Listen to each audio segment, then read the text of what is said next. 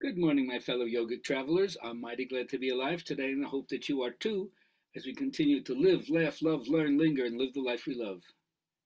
All right, Tuesday, Song Day, from my Peter, Paul, and Mary lexicon, one of their sad love songs. I shall tell of a hunter whose life was undone by the cruel hand of fate at the setting of the sun.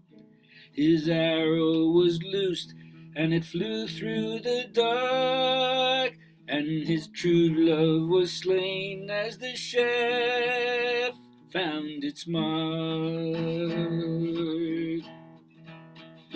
She'd her apron wrapped about her, and he took her for a swan. And oh, and alas, it was she, Polly Von.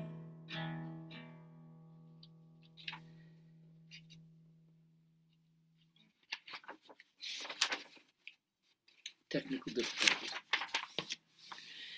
He ran up beside her and saw it was she. He turned his head away, for he could not bear to see. He lifted her up, and he found she was dead. A fountain of tears for his true love he shed. She'd her apron wrapped about her, and he took her for a swan. And oh, and alas, it was she, Polly Von.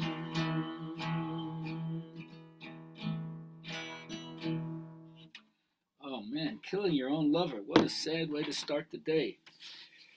But we probably kill our love within ourselves and other people in a lot of other ways we don't even recognize. Maybe not so gross as accidentally sending an arrow through the air. All right, I'm dedicated to the voice that speaks on behalf of something that can't be put into words. It must be lived and not just talked about, not just experienced in seminars, but things that you do in your daily life. In other words, you've got to actualize this behavior. So that means you've got to take time to understand this in yourself. And the first thing I always say to people is do what you love and become aware of it while you're doing it. That's how you find out what you're a vibrational match for. Because what you think and feel, you're going to get a vibrational match in the material world. That's a not a representation, but a direct manifestation of that.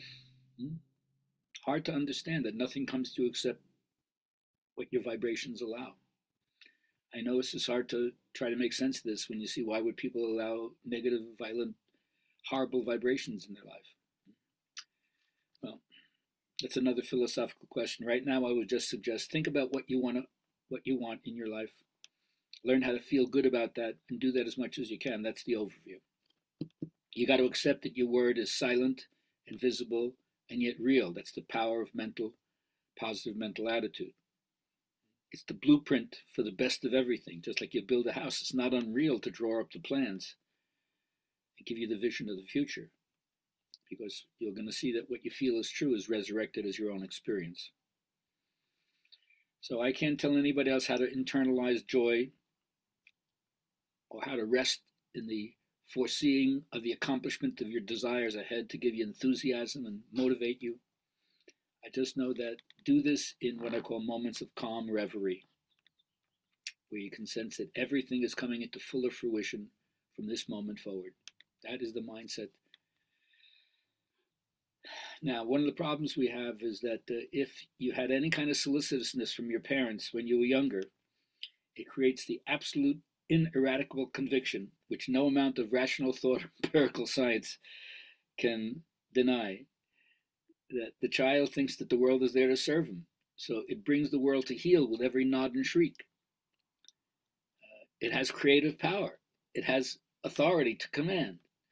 And that's exactly what has to be, to some extent, not broken, but fostered and encouraged so they're not so narcissistic and self centered to serve the community. And that's where initiation comes in. And in initiation, you know, things are out of control. You don't know where you're going. Because if you knew where you're going, you'd be commuting. And the beauty of initiation is you meet your mentor. And your mentor creates a field of visibility to help you see not only the beauty, but the pain of your struggle as well. The mentor validates, recognizes, and blesses, blesses you as having equal fervor to them. They just don't confirm the sense of your false self. And so, this is why, because of socialization, aspects of the ego have to be both developed and suppressed. And that's called diksha in yoga. So, I hope you find yours. Tomorrow is our next Good Vibrations class yoga for the chicken soup for the yoga soul. Go to GabrielHalpern.com and sign up and uh, let me know how we're doing. I said that this week we would we would try to expand our um, understanding of what we were doing to include questions on creativity. So, who do you project creativity on? That would be another journaling question for you. Right? Are you letting someone else carry the burden for you? Whose attributes, qualities of personality, or lifestyle accomplishments represent something that you would like to emulate but in your own way? If you want to discuss that with me, let me know. I'd love to hear it. If not, write it down in journal and enjoy.